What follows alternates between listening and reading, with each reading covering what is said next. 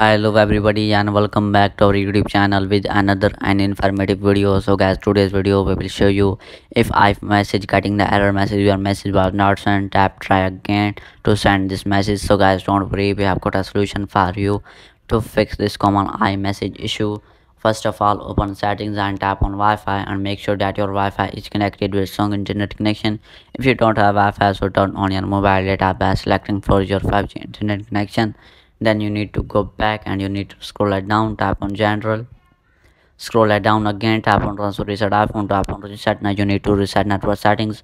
After reset network setting then you need to open app store and you need to wait for some seconds guys and you need to search iMessage in the search bar. After searching iMessage in the search bar then you need to wait for some seconds again guys. After waiting then you need to open the iMessage.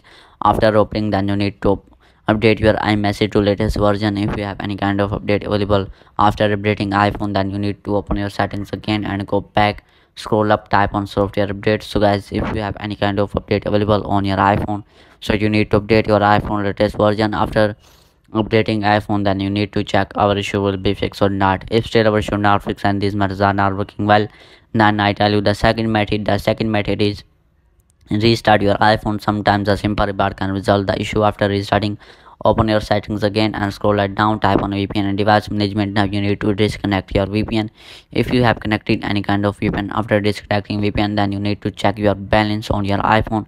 Make sure you have enough uh, balance on your iphone to send this uh, message to on imessage. After checking this still our issue not fixed and you need to open your settings again and you need to go back tap on background app refresh tap on it again. Now you need to select uh, off. After selecting off then you need to select wi-fi and mobile data again. After you do this then you need to scroll it down and find the iMessage.